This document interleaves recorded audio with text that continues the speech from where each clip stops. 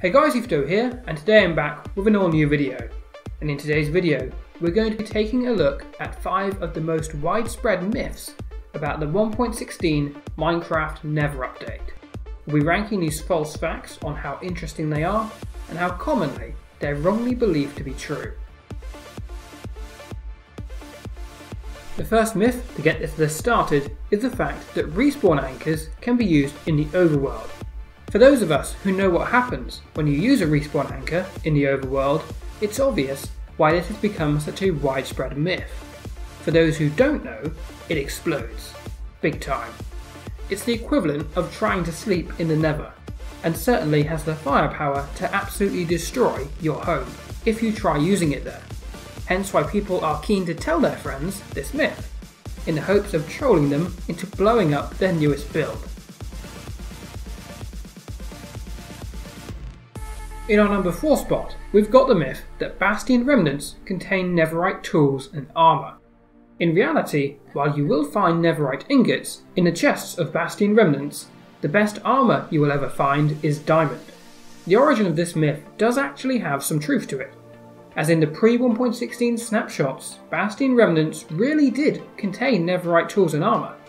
Notably, however, this was changed before 1.16's full release as Mojang felt it made Netherite tools and armour too easy to get, and made searching for ancient debris a redundant task. The third myth to make our list today is the idea that chain armour can be crafted using chains. In fairness, there is a clear logic to this myth, and it would absolutely make sense if we could craft chain armour using chains. But unfortunately, we can't. For now at least then, chain armour remains uncraftable, only being obtained from trading or from mob drops. Another uncraftable item that needs mentioning here is Crying Obsidian, which cannot be crafted using obsidian and ghast tears despite what some people might think. Crying Obsidian can only be obtained either through trading with piglins, looting chests, or mining ruined portals. Narrowly falling short of our number one spot, we have the myth that piglins will barter gold for diamonds, or even netherite tools and armour. This myth has largely been spread by clickbait YouTube videos and thumbnails, making false claims about what you can get from trading with piglins. While you can get some really useful items from piglins, such as ender pearls, crying obsidian, and fire resistance potions, you cannot get diamonds. And while there was a brief time during the Bedrock Edition beta when you could barter for a Netherite hoe, this was changed before the update's full release, so it is now no longer possible to trade for any Netherite tools or armour on any version of Minecraft.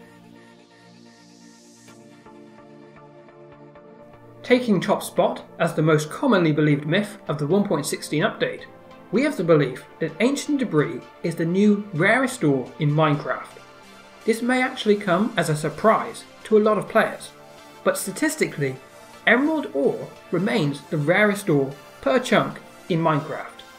While it is of course much easier to gather emeralds than netherite, the stats don't lie, with as little as 1.2 emerald ores appearing per chunk on average, versus 1.56 ancient debris per chunk. The rarity of emerald ore is of course heavily skewed by the fact that it only appears in extreme hills biomes. Not to mention, given how quickly you can collect a large number of emeralds from villager trading, it's easy to forget the rarity of the ore itself. This myth is an interesting case wherein the theoretical probabilities don't match up at all with players' actual in-game experience, hence why it is so commonly believed. I hope you enjoyed this video let me know which of these myths you believed in the comment section below, and if you'd like to see more Minecraft videos like this one every Saturday, then do consider subscribing. Thanks for watching.